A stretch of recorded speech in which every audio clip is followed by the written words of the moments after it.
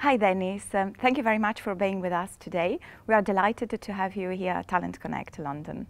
Fantastic. Thank you very much. It's a pleasure to be here. To start, could you please introduce yourself and tell us a bit what you do at Ferrari? Sure.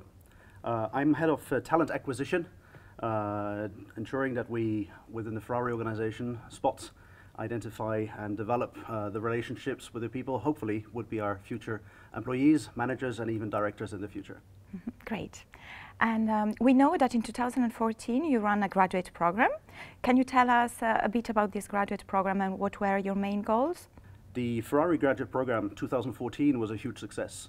It was the fourth edition that Ferrari have run, uh, the most international one, and in terms of feedback, uh, the most uh, following mm -hmm. in mm-hmm. terms of the number of participants. Uh, we've had uh, people coming from, I believe, 83, 84 different nationalities from us around the world. We've had in excess of 5,300 applications, and that in a time span of only three weeks.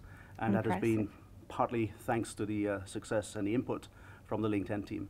Really impressive. How, why, um, I would like to, to, ask, why did you decide to use uh, LinkedIn as a platform to advertise this job and to collect this international application? Ferrari decided to work with LinkedIn specifically uh, for the graduate program uh, for the fantastic international reach, the audience that we could get for Ferrari through LinkedIn. Um, it's secondly uh, to reach the most ambitious, uh, academically qualified uh, students around the world, be they from graduate engineering as well as the, the business dis disciplines. Mm -hmm. You said this program was successful several times. How do you exactly measure success?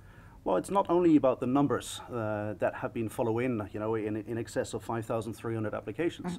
but above all, it's the quality of the success of candidates, i.e. the competencies, their depth and their experiences, uh, leading to, through our assessments, the, um, the uh, values uh, that they uh, can bring to the organization of Ferrari.